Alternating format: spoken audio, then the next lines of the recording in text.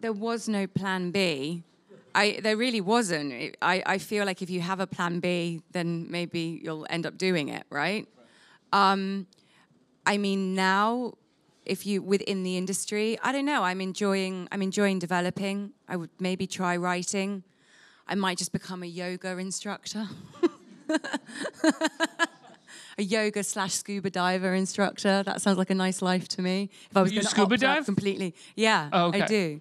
I learned to Or if originally. you actually did that, or if that was just like a fantasy. No, no. Um, I scuba dive. I was I was taught. I learned to use a regulator originally to do an underwater car crash scene for um, a pilot that I did years and years ago, and um, then I, it was it was actually scuba diving. Uh, it was actually a scuba diving holiday in Malta. Was the first time that Anthony and I decided had the conversation about me writing in darkness with him.